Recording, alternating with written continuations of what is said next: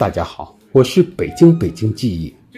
今天来到南城胡同深处的鸿运轩，听京城的洪老爷子聊聊正宗北京涮羊肉的起源。原来和珅是始作俑者，是他把皇宫里的涮羊肉后来改成涮羊肉，传到了民间。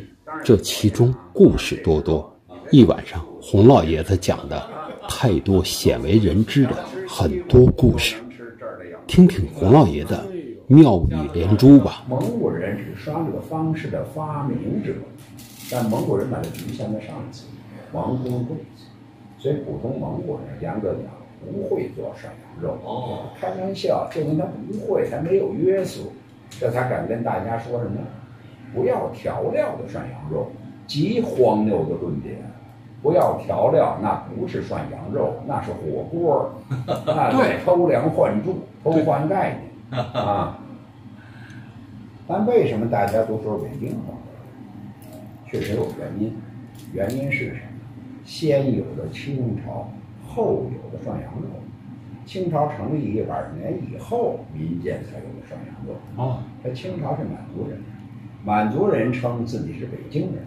这满族人是我们三百七十多年了，还不是北京人啊？对，我们带来的，所以北京人，这就是北京红旅。哦，就这么来的。哦，一想不对了，不对，为什么？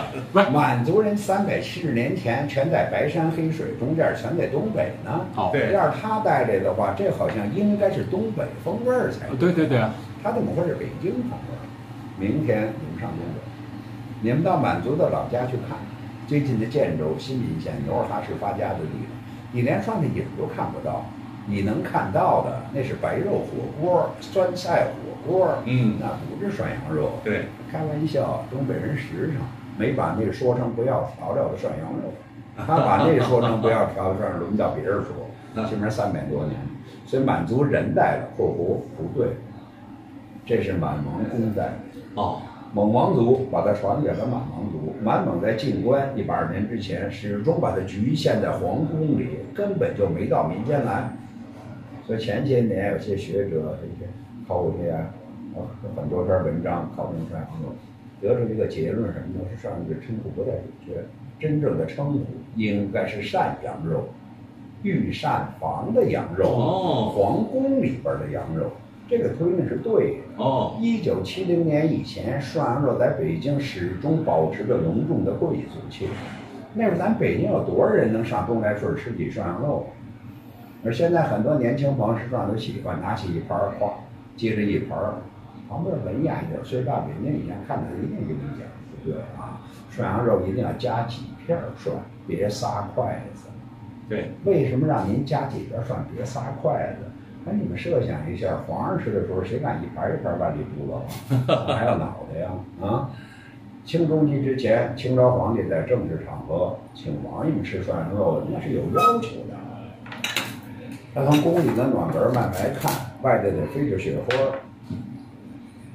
这屋里得飞着户底儿，嗯，这桌子上得有蛐蛐、有呼噜、蝈蝈叫着，得有鸣虫，哦，这样才能请王爷们吃涮羊肉。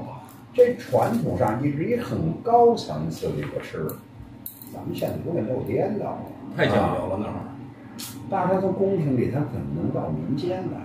得益于和珅，确实跟和珅有关系。哦，康熙六十岁过生日，大清已经稳定了，进入了盛世。跟康熙一样，他要搞一下和谐社会，显示皇上爱民，皇上尊老，很考一个创意。他请上千个七十岁的老人。跟百官一块儿吃千层宴哦，对，千层宴。康熙这想法很好，哎，这说这对。当然这里有三个难题，嗯，这皇上不知道，底下干活的知道。没错，上千人吃饭，这菜不能一块儿炒出来，没错，拉时间要长一点。而皇上请客，这菜还不能跟食堂拿大锅大铲子炒，一弄得很精致。他弄的既然弄得很精致，拉的时间相对要长一点，这上来的菜就容易凉。你看这好不容易这些菜上齐了，皇上不动筷子，谁敢动筷子？这里还有很多礼仪，很多仪式还得执行。对，大家伙在这还得等着，这菜又容易凉。嗯。第三，当了保温设备、保暖设备没有现在的。没错。啊，所以三个原因无形之中造成线上才有有点凉的。这翻过来变成很多老人吃凉肉，哎，你说这老人吃凉肉能舒服吗？是，问题是他不能不吃啊，他得玩命吃，对吧？空军得玩命吃，还没人敢说粮，谁管都不好，还得喊着万岁。吃完了，很少人说这顿饭，一说就是谢主隆恩，感谢皇上恩典，大家都只觉得这是个荣耀。但这顿饭对很多老人说，他吃的并不舒服。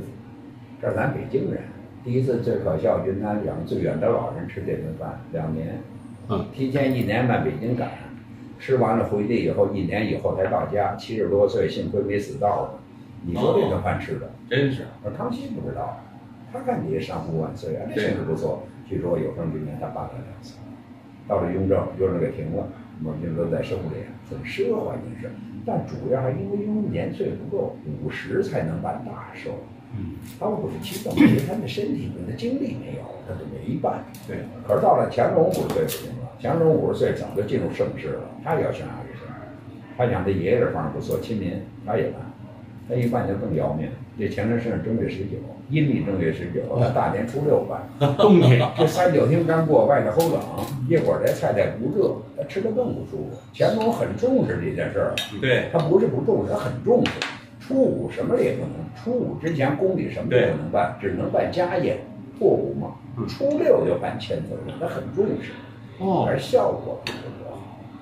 第二次让和珅去办，和珅很聪明，和珅讲宫里的菜炒的极好，我们吃了很多次，很少听到哪个老人说哪个菜炒的不错，他听到就是谢主隆，他就觉得问题这不合常理，他想到这个。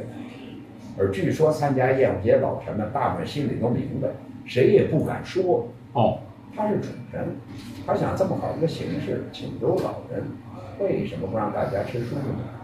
说这回他办的，这炒菜就必须得有这些仪式，谁也瞒不去了。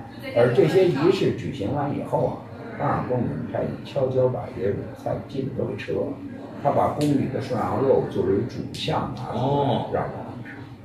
首先解决这个菜园的，对，他说迎合了北京老人心态，还是北京老人居多呀。嗯，这北京人喜欢热闹，大年初六守着红红的火，大家伙儿团团围坐，那么一吃，他就兴奋了满意，这饭吃的高兴。哎，而宫里的涮羊肉做的极好，谁也没吃过，这一吃印象太深，太好吃了。这些老人这出宫就不管进入谢主隆了，哎，是满处在炫耀宫里的涮羊肉有多好吃。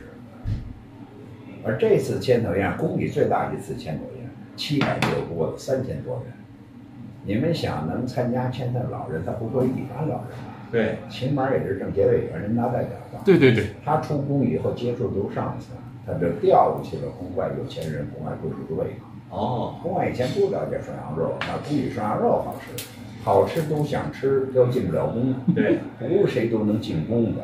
既然进不了宫，这些人大家伙想方设法。明白了，八大从御膳官里出来了，是这次迁走之后二百四十年左右，逐步传出来了。嗯，他引到民间有他要推广，他肯定要推广，他这一推广，马上就面临一问题，谁做呀？满族不能做。二百年前满族是贵族开饭馆丢脸，下九流下等人的事儿，他处在光吃不做，所以咱们这四九城里人是不可能有人做的，而城外汉族一般做不了，他们怎么接触羊肉怎么做？自然而然的那些卖牛羊肉的做。二百年前北京卖牛羊肉的，我敢说一个汉民没有。那时候汉民卖给谁呀、那穆斯林不买你的，汉民一般不怎么吃。没错，这样才从一条龙。为什么一条龙要搬回到前门步行街？哦，修那前门步行街的时候，那一条龙都换法了。对别说外地了，就你们北京哪是知道一条龙呢？没错，怎么修完前门成了寸土寸金的地方？北京市一定要把一条龙搬回到前门步街。现在追求传统，对，一条龙是涮羊肉的发源地。哦，它，今年二百六十年，其实是二百四十年。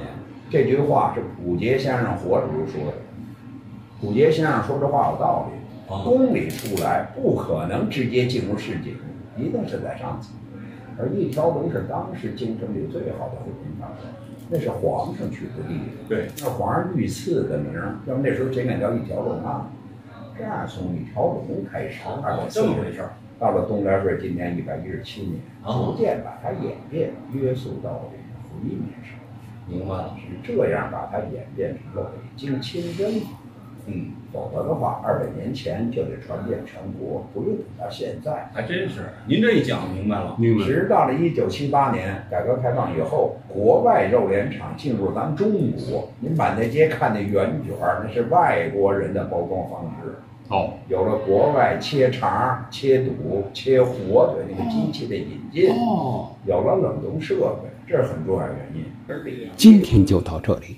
洪老爷子讲的更多精彩故事，在下几期会陆续介绍给大家，请关注“北京北京记忆”，欢迎评论留言。